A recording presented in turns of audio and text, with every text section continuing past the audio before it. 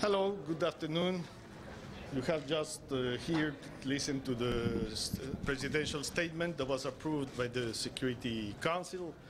We think that this uh, is a very positive result from the consultations that were undertaken uh, last, uh, last week.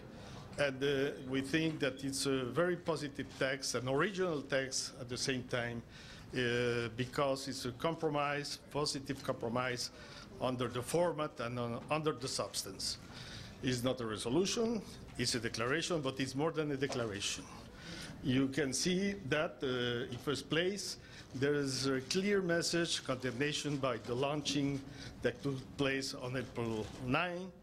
It's on all the same time reminding uh, North Korea, DPRK, to uh, fulfill its, uh, its duties under Resolution uh, 1718, and at the, uh, at the same time it calls for no more launching by uh, North Korea. But uh, the other part that is very important, we think, is the activation of the sanctions committee in terms that in, in the resolution 1718, uh, there is a paragraph 8 that uh, calls for uh, specific uh, sanctions, and the sanctions uh, committee will meet uh, in order to identify the different entities and the different uh, individuals that have to comply with this sanctions uh, regime. The committee, this uh, sanctions committee, that is uh, chaired by actually by the um, uh, permanent representative of Turkey, uh, has uh, to meet uh, to uh, have some agreements on these issues before until, until April 24. And if there's the case, the, if there is no progress on these issues, the Security Council will reconvene on April, April 30.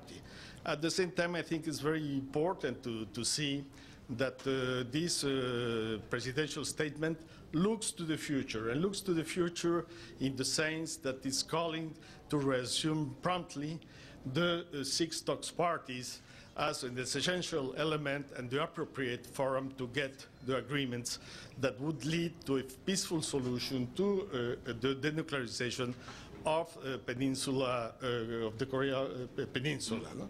So we think that this is very important. The issue is a very strong, clear uh, message that uh, shows the unity of the Security Council to act on this, on this very important matter that deals with non-proliferation. I think now is at the same time the role of North Korea to really show that it's uh, capable, able to uh, fulfill this uh, confidence gap that exists before the international community for past action. Mr. Yes, please. President, have you agreed the details of the adjustments that you would like to see them carried on uh, on the list in chapter uh, in, in paragraph 8? And if you haven't agreed these details, how are you going to enforce them after the 24th of uh, April if the sanctions committee doesn't act? Because the agreement is not there. Yeah, the sanctions committee has to look for this for this issue. It's the responsibility of the sanctions committee to see this uh, regime, and all this, uh, at the same time, once that the sanctions committee will approve the basic uh, sanctions, it has to notify, of course, the, the, the members of Security Council, but also the members of the United Nations, in order to fulfill and to apply these sanctions. My sanctions. question is, you say in the PRST that if the sanctions committee does not act by the 24th, this council will enforce these adjustments. But if you haven't got an agreement and the sanctions committee has not worked in details this new adjustment, what are you going to enforce? The Security Council in this case would reconvene, but I think it's uh, uh, very difficult for us right now to prejudge what is going to be the work of the Sanctions Committee. But isn't this a, a, uh, really treating this as a resolution? Because the original resolution said that within 14 days, if what had been adopted wasn't changed, then it would, that, what was, what was there was, was, was adopted. And that was in 2006. So now, in the name of a presidential statement, you say you're claiming that you're going to change something that had to be changed over two years ago, and that that, that can be done in a presidential statement, and you're. Re- Resolution 1718 is, uh, of course, valid.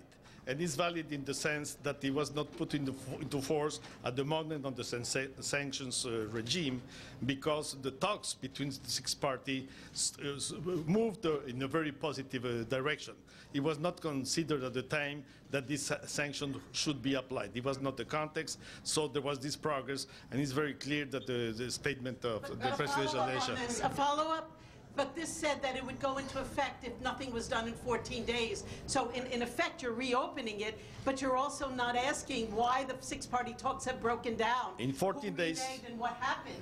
So you haven't done any investigation as, as far as. In 14 days, the sanctions committee have, uh, have the, as you can see, has the obligation to identify the different entities involved in this issue. So it's the sanctions committee that, of course, with some b- databases that different countries have, that they will apply to this. Yes, please. Yeah, The, the use of the word launch and not of, of, of missile or anything else, does this imply that it may have included a satellite? And also the use of the word contravention instead of violates. Is there, is there a difference that you see between the two? Can you describe why these two words were used and not Yes. others?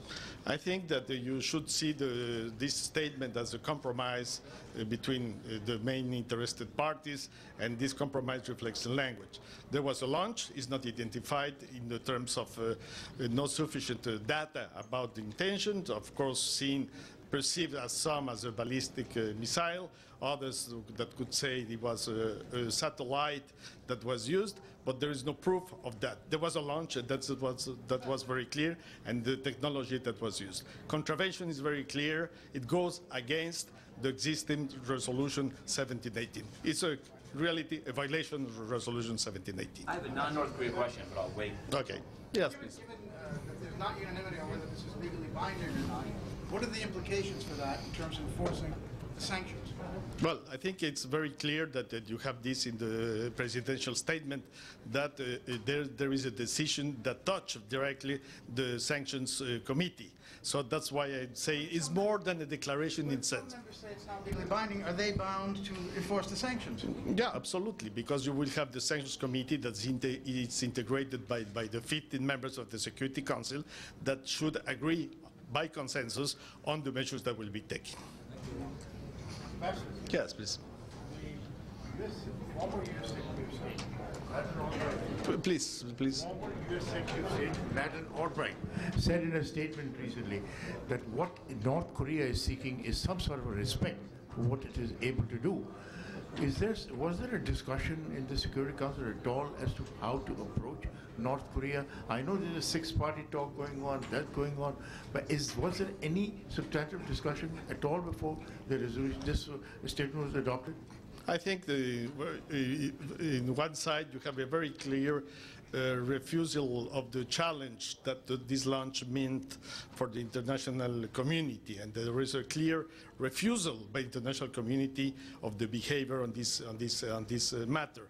But at the same time, there is a call for resuming the talks on the six talks of parties and for dialogue. It's very clear that uh, there is the purpose to, to have a peaceful settlement on all the issues that are linked to North Korea.